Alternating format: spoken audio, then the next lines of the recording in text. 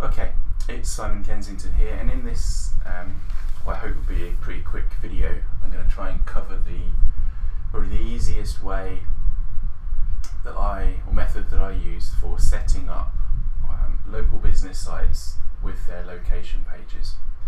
Now, there are a big caveat about this is, um, you know, whichever way you go, you can get things to rank. You just might need to work a little harder or a little um, you know, less hard, depending on what the competition is. There isn't really one definitive do this method. It's really a case of trying to simplify the, the, the myriad of different ways that you can go about this. Um, and typically, what you're doing is you're creating silos um, or topical clusters or buckets of content to be able to get that relevance from your website and also pick up the relevance from your GMB. So, and again, depending on how your GMB is set up, really depends on how uh, how you set your site up. Whether or not you have an exact match domain, a partial match domain, and so on and so forth, really depends on, on how you set the site up. So with all those caveats being said, the main ones being if you have a GMB and you have multiple locations, then it's best to have multiple location pages and each of those GMBs should link to the location page on your website. If you have one GMB but you service a number of different areas, then usually the best practice is to link your GMB to your homepage and then on your homepage you have a summary of the services and the areas that you cover so that your homepage is effectively a landing page for your GMB. So what you're saying within your GMB is matched with what you're saying on your home page. So if you've got a, um, a the really minimalistic, um, kind of fancy, eye-catching uh, looking homepage where there's not a great deal of content, then it's really difficult if you're using that as the landing page for your GMB for Google to see that you've got any relevance to the GMB theme at all in terms of niche or location. So it is a good idea to include on your homepage if you're using it as your GMB landing page uh, geo, uh, geo information and uh, niche information. Uh, so that's that caveat, and then the other caveat really is about the domain name and whether you're using a branded domain, an exact match domain, or a partial match domain. Now, one of the things that you want to avoid in your URL structure is over optimization. So, if you've got an exact match or a partial match, and then you start adding more services and geolocations that are repeating what's in your domain name in your URL, then you're asking for trouble. So if you have a partial match or an exact match domain, whether it's uh, partial or exact on the niche or the location, then you want to keep your location pages really simple. Um, the other thing uh, to say on that is you also want to make sure that your domains are as short as possible in terms of the URL length. You want to keep your pages as close to the root as you can. Using lots of uh, silos where you're using a folder structure and you've got you know, maybe a folder for your services and then maybe you've got different sorts of services. So those are in another folder and then there's a geolocation that's in another folder. And you've got all these nested folders. You end up with a huge long URL where the actual document that you want to rank is way down the priority list. You've got to navigate, or Google has to crawl through several directories or folders before it gets to the page you want to rank. So try and avoid overly complicated uh, URL structures where you're using lots of folders. So here's my uh, kind of five minute guide to uh, a fairly simple method which is fairly foolproof for setting up the location pages and the pages that you need on a local business. Now the first thing that you're going to want to do is you're going to want pages, uh, and this is just a test site, a dummy site. Um, you're going to want pages that match the primary category and the subcategory that you have selected in your GMB. So in this instance, this is a decorating company, painting and decorating. These are the services that they offer, and so you should have a page dedicated to each of these, and it should be in exactly the page uh, URL, and that should be exactly the way that it's written in your GMB. So those are going to be your uh, your base service pages because they will then give relevance to your website um, from your GMB, and your GMB will and your website will reinforce that relevance with your your GMB. The second thing that you want to do is you want to create pages for the locations that you serve. So if we do, um, go to Google Maps here just quickly. And let's just throw in my local town. Nearest small town is Thrapston. Now I am uh, in a fairly rural area in the UK where we have lots of small rural towns and villages. This is a fairly big town, um, but even that is small. Northampton is probably the biggest town. So the rest of these are fairly small areas. The ones of note really around here are going to be things like um, Corby, Kettering, Wellingborough, Oundle, those sorts of things, and Thrapston itself. So these are you know tiny little villages. Maybe there's 60 or 80 houses or something daft like that. So when you're picking out your location pages, the, the areas, it really depends on how your area is set up. If you're in a fairly big town or city centre type location, where you've got the towns broken up into different neighbourhoods or different areas, you know, downtown, industrial district, business district, whatever it might be, and those have got names, then you can use those as separate landing pages. In my inst- uh, situation here, we'll have one for Thrapston, uh, one for Kettering, and then we'll do one for um, somewhere else. But you get the point. So you need to you need to pick your area pages really by you know how big the areas are and you know you can get an idea of what the neighborhoods or what Google recognizes the neighborhoods to be by the names that they have sometimes they match the same town names sometimes they're just different areas that they're highlighting and so you know you need to do a bit of research around this is why I like uh, mass pages for local where you you know pick out 30 or 40 of these you know smaller uh, towns or cities or villages rather and you just create a page specific to that page. And this is the same principle if you wanted to go down that route. So go here to our uh, site. As you can see we've got the basics that we need on any site. You always need to have a home page about a contact page. Um, a blog's a good idea even if you don't have much in the way of content, you just use it for supporting content rather than uh, blogging in the traditional way, which I'm not a huge fan of. And then you have your privacy policies, um, terms of service, and uh, two privacy policies there. That probably should be a GDPR um, type policy. So you've got the basic pages that a somebody who's looking at the um, quality raters guidelines that Google produces, you're, you're covering your bases, and that's helpful for EAT as well. Your expertise, authoritativeness, and trustworthiness. So there's the kind of the basic structure that you need to have on your site. And so we can create a new site, a new page rather, and the first one is going to be painter and decorator. So this is the first um, deck that's going to be the first um, page and we can um, we'll come on to the various different headings and things uh, later maybe in another video. So we'll just publish that. And then we want a new page. And so however many of these, so we've got tile contractor. So this is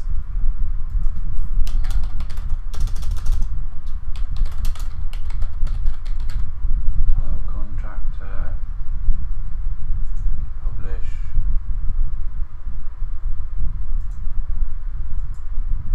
Plasterer.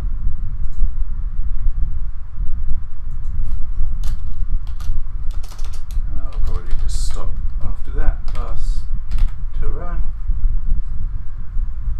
Publish. Okay, so those are my um, my service pages that match my Google My Business. Now, if they're what you can do then is you can then start using your on-page signals and content to adapt this page to something matches closer because Google the, the categories in Google aren't always as accurate as um, or not as accurate as close as, as what you might call the, the naming convention so you might need to do a bit of tweaking with the content and the H1s and the H2s etc so that you can kind of localize it to what your market calls. But having these pages on here is a, a really good start. And then the next thing we want to do is start having our location pages. So we're going to have a, another page, and our location page is going to be Thrapston. And that's it. And then uh, the next page will be, uh, let's say, Woodford.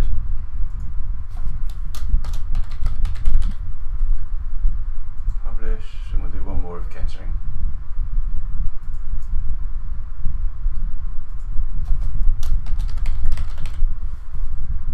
And publish. So now we go back to our menu and we can start putting these uh, into our navigation. You can see how that works. So we need to go to primary. Okay, so uh, I've just added the items. And I'm just going to sort them out. So I've created a custom navigation called location and one called services and then I'm just going to start putting these under um, so put them in alphabetical order and then services go under here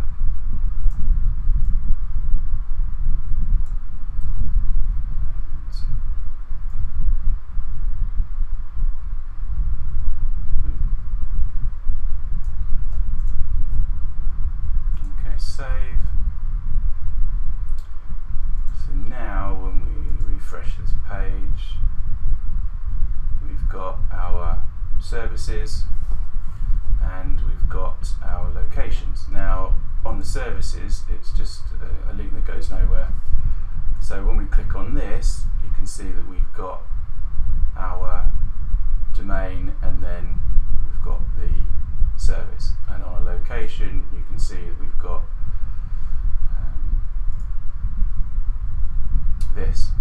Now then, to what you then want to do on these pages is on your service pages, you then want to do your research as to what content you need to put on a drywall contractor and I would use a combination of Cora and Page Optimizer Pro to figure out what my content should be by analysing my competition. Um, or as I like to do with local, I just go to you know like a London um, painter and decorator and see you know, what it is that they're doing because if they're ranking highly in, one of the big cities, then it's likely that that's a good strategy to adopt even in a smaller area. So however you get that information, you then want to make sure that you're adding in on here all the information about this. I wouldn't put any geo information on here at all. This is all about establishing your presence as a drywall contractor. Now it might be that there are um, situations where you need to create supporting content for this page. Maybe that supporting content is where drywall contractor isn't uh, necessarily the only term that's used. Maybe there's a different term that's used, and so you want to mention that different term in your article, and then you create another supporting document which is just specifically about that topic and links back to you know, this page, so adding relevance to that. And then by using those terms strategically in your H1s, H2s, H3s, H4s, bullet points, um, and so on and so forth, your bold and emphasis tags, you can create a very comprehensive document all about the service. So you do that for the all the other services. And then on your home, on your uh, location page, you essentially just create um, sections, and so and depending, you know, how you set this up is entirely up to you. But one of the sections that you want to create is geo information. So you want to add lots of content about the area. So this in this place it's going to be Kettering. So a lot of the information I'm going to put on here is going to be about Kettering. Then the other thing you want to do is you want to add information about the services that you offer in the Kettering area. And so that is going to be the services that you have in your other area, you know, in your services. So again, do it the same as you would uh, as they're listed in here. So as a drywall contractor, tile contractor? Doesn't matter what order you put them in, obviously. Contractor and then there was plasterer. And so, you know, these would be uh, H2s, funky looking um, theme. So that would be H2 and this would be an H2. And then your geo information, so this would be all about Kettering. And that would be an H2.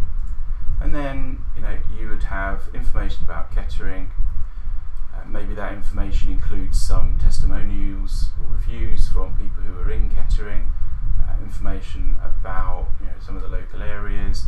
Maybe you've got um, contracts with companies in that area or whatever. So whatever information goes under there, and then you do a summary of your basically of your location page.